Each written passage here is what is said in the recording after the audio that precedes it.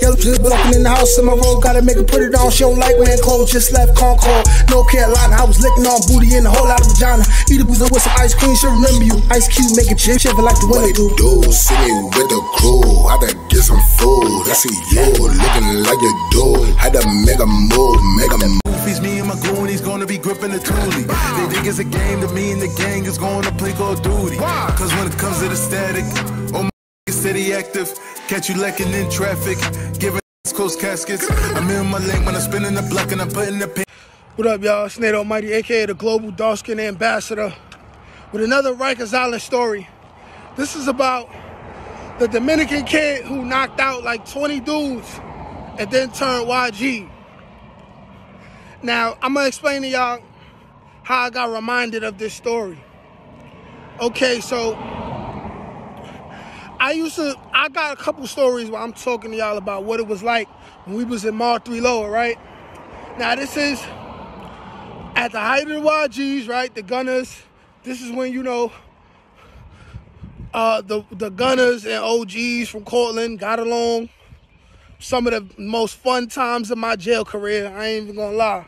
There was a lot going on. Um, this is when I explained how we was in Mod 3 Lower and me and, and, and, and niggas from the hood that I grew up in. It was like me, T-Roy, um, L Boogie, Drewski, Bow Wow. Then you had a couple other dudes from the Bronx. Then you had, you know, um, Ken Gooney, two G's like Gucci from Harlem. Um, the, the youngest one out of all of us was this guy named uh, Teddy, who's also the most brolic. He's from Queens. It was about, it was, then it was, um, this gunner named Floyd and, uh, uh, another dude named P who went to jail for murdering somebody over a lighter. Might be doing life right now, who knows. But I forgot, I forgot this one person. I forgot this one person who wasn't with us for that long. For that long. And his name was JT the Beast. And this is the man who this story is about because a while back when I was releasing these type of videos talking about my time in Mod 3 Lower, where we was wilding, we was, you know what I'm saying? We was wilding, we was turning up. I get to inbox from somebody whose Instagram name was Trouble. And I'm like, yo, who is Trouble, right? And I'm looking at his face. I'm noticing, okay, he got locks in his hair now. I mean, I'm looking like, who's this Spanish dude who got locks in his hair? And then he get to talking. He hit me up in the inbox. He like, hey, yo, bro, like, you talking about all this shit that went on in Mod 3 Lower. You forgetting I'm, I was there with you. You forgetting I was there with you and all that. I'm like, yo, what? I'm like, yeah, you look familiar, but I don't remember nobody named Trouble who was there. He like, yo, man, JT the Beast, man, that was my name. Remember, I had the afro. I was YG under Shorty Rock. Now, I'm about 90% sure it's Shorty Rock who he said. It's Shorty Rock, and I, I'm 90% sure. I'm gonna get him. I'm gonna get him for an interview. He gonna go into detail about this story right here. But this is the story. This dude, I don't know how it slipped my mind that over a matter of minutes, this dude became a legend. He became like a like a quick legend within a matter of minutes. Now, I'm gonna rewind you to the beginning of the situation. Like I said, we in Mod 3 Low at the time. We don't know who he is yet. We don't know who he is yet. JT the Beast is just coming into the island. He's in he's in Mod 1. Mod 1 is the intake building. It's the mods. 50 beds, brand new dudes in there. You already know what that is, right? So while he in the mods, he starting to get acclimated to the situation. He peeping the surroundings. At some current point in time, there's an issue that he has. It's either him by himself or it's him and maybe one person. Maybe I don't I don't know if it was his co D or just somebody who he got cool with in the intake dome. I'm gonna have him on soon so he could go into detail about this. But something something happened. I believe some of the SPAs, some of the SPAs, and the SPAs are people who've been on the island for a while, but they get paid to work the intake dome. And like, you know, try to like keep people from from um from uh commit suicide, little things like that.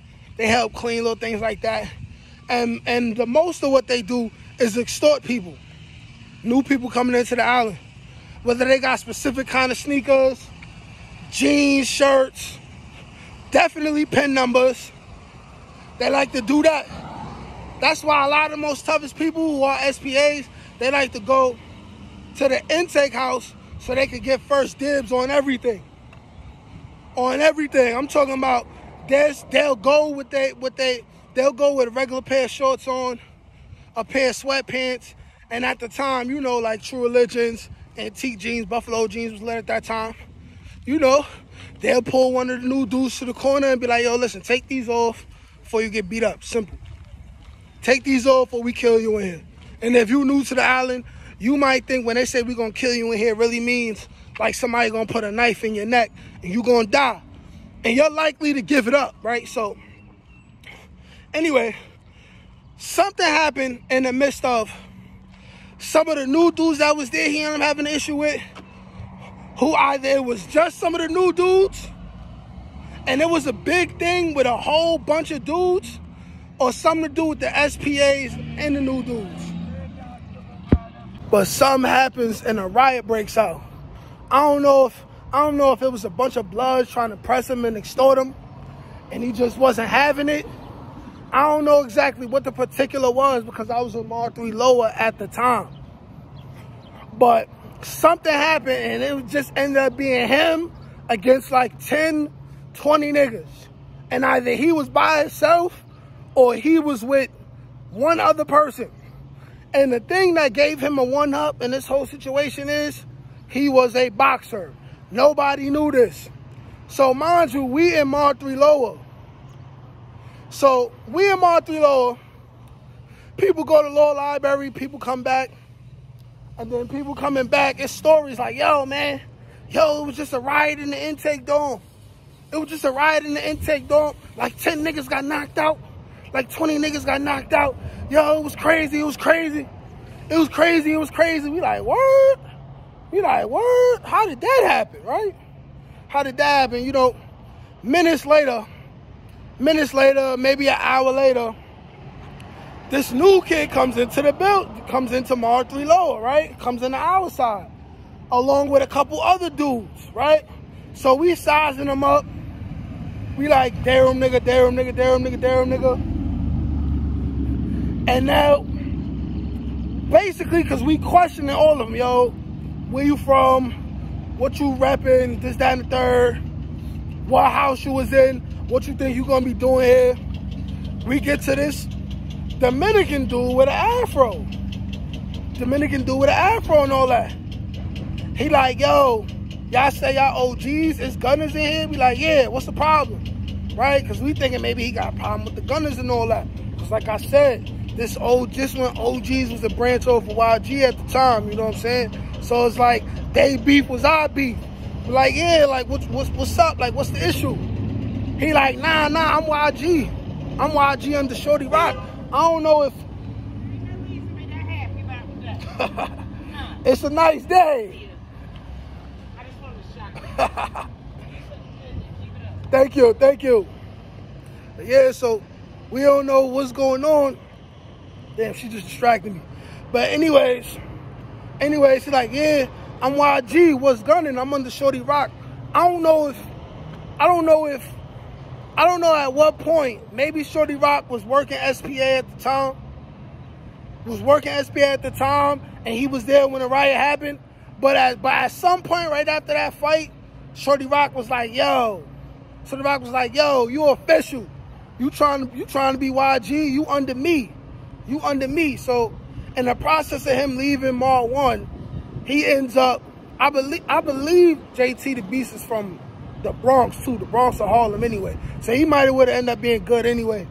But in the process of the riot happening, he ran in, he runs into Shorty Rock, turns Gunna, and then ends up in Mod 3 Lower.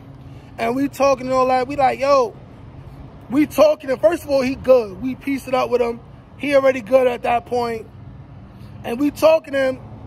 I'm like, yo, I heard it was just a riot over there and all that. Like, yo, what happened?